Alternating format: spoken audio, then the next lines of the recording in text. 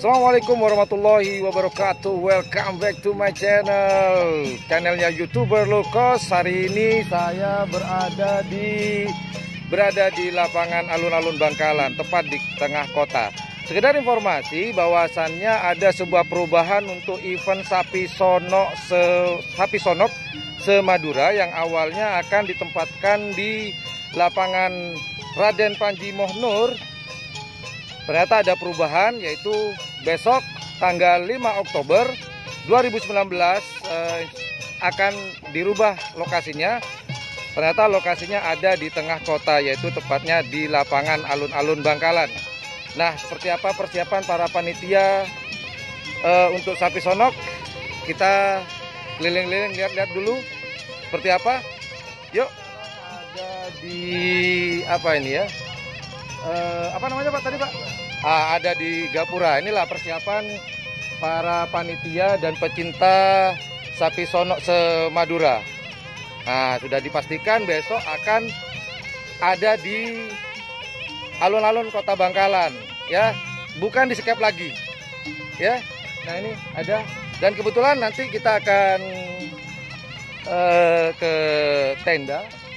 Sana ada salah satu sapi sonok yang informasinya sih dari Pamekasan kita lihat-lihat di sana persiapan mereka seperti apa. Sekaligus saya ingin nunjukin nih pernak-pernik yang akan dipakai di sapi betina ini yang besok akan ditampilkan. Ya sapi sonok itu kurang lebih seperti catwalk seorang model tapi dia bukan manusia sapi. Seperti apa? Ikuti terus perjalanan youtuber low cost di alun-alun kota Bangkalan Cawi.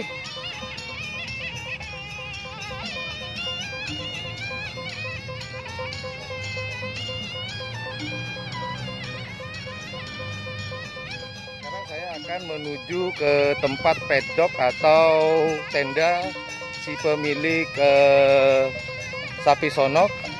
Informasinya dia dari Pamekasan.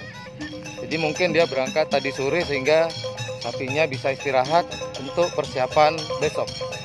Yuk saya mau nunjukin nih uh, pernak-pernik dari sapi sonok tadi. Yang saya maksud tadi. Karena kalau saya lihat keren sih. Tadi saya sempat lihat-lihat teman akan saya tunjukkan buat teman-teman seperti apa pernak-pernik tersebut. Dan mungkin saya akan tanya-tanya namanya apa setiap pernak-pernik yang ada di leher, yang ada di kepala, yang ada di leher, da, juga ada yang di dada besok. Ya, yuk.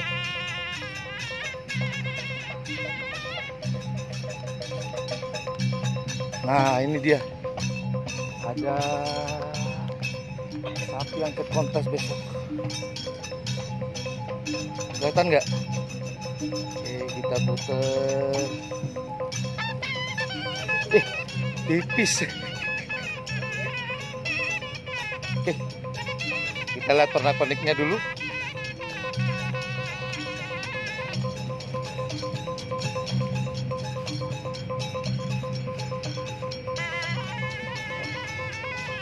Nah, kita udah nyampe di pedok di tenda peserta dari sapi sono yang dari Pamekasan. Yuk kita lihat-lihat dulu pernak-pernik apa yang akan dipakai untuk besok. Lebih lengkapnya stay tune biar besok teman-teman bisa lihat nanti apakah sapi betina ini ketika didandani. Oke. Okay? Pak. nah ini eh, bapak ini si pemilik sapi sonok, betul pak ya? Dari mana pak? Dari Pamekasan. Berangkat jam berapa tadi pak? Jam sore. Oh, beliau berangkat jam 4 sore dari Pamekasan. Sampai di sini jam berapa tadi, Pak? Di Bangkalan. Habis Isa. Oh, habis Isa. Jadi dari Pamekasan beliau berangkat bawa sapi sonoknya untuk persiapan besok. Beliau tadi berangkat jam 4, kemudian sampai di sini setelah Isa.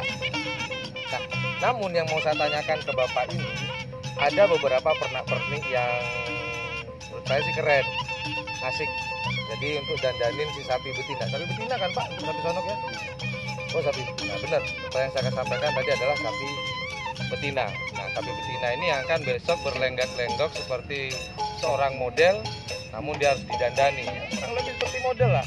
Beda dengan eh, karapan sapi. Kalau karapan sapi dia adu kecepatan, namun untuk sapi sonok dia adu kecantikan. Tapi jangan jatuh cinta ya, walaupun cantik apa pun, karena dia sapi. Oke, uh, kita masuk ke pernak-pernik dari sapi sono.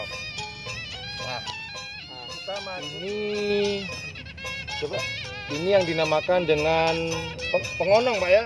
Pengonong ini akan ditempatkan di leher, di leher sapi. Uh, kemudian ini juga akan dikalungkan ke leher sapi. Ada apa ini ya? Semacam ginseng katanya. Keringkingan atau apa itu diletakkan di leher sapi. Kemudian untuk ini uh, maaf oh nggak apa emang gini pak ya. Oh ternyata bergoyang ya. Nah, ini ditempatkan di pengonong. Di sini. Dan lebih seperti ini besok kemudian uh, ini ini apa namanya Pak? Di dada. Oh ini tutup dadanya si sapi betina. Ini hiasannya. Kemudian, ah ini yang tadi ada di pengonong. Sebelah mana nih Pak? Sini Pak ya. Nah, jadi tunjukin Bapak. Oh, sambungannya dari sini. Oh, iya, oke oke oke sambungan dari ini. Oh iya iya iya, iya.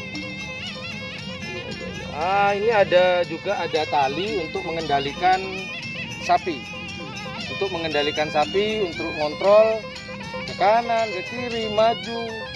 Lebih seperti itu. Uh, yang ini pak? Tuh di bawah pengonong di sini pak? Oh ini sedangkan ini ada di bawah sini ada ke depan begini ya pak ya? Kayak begini nah ya kurang lebih seperti ini. Oke. Okay. ah ada yang kecil nih pak. Ini yang kecil udah ke mana pak? Oh di ini di bawah di dagu di bawah dagu. Di bawah dagu si sapi. Warnanya sangat uh, warnanya sangat mencolok keren seperti apakah sapi sonok kalau sudah didandan? Jadi ikuti terus channelnya youtuber lokos biar teman-teman tahu seperti apa sapi sonok kalau udah didandan. Oke uh, sebelum kita selesai jangan lupa jika kamu suka dengan channel ini channel youtuber lokos jangan lupa like share dan subscribe nya dan jangan lupa di sebelah subscribe ada lonceng. Wajib dipencet jangan dilihatin terus ya. Supaya apa? Kalau teman-teman mencet itu teman-teman akan selalu mendapatkan lebih awal yang pertama untuk dapat informasi dari youtuber cost matos langkong ini apa saya tadi bilang terima kasih banyak. Oke itu aja. Terima kasih sudah menonton channel kami. Assalamualaikum warahmatullahi wabarakatuh. See you tomorrow di lomba sapi sonok semadura tanggal 5 Oktober 2019 di Kabupaten Bangkalan. Yang pertama bro keren. Wush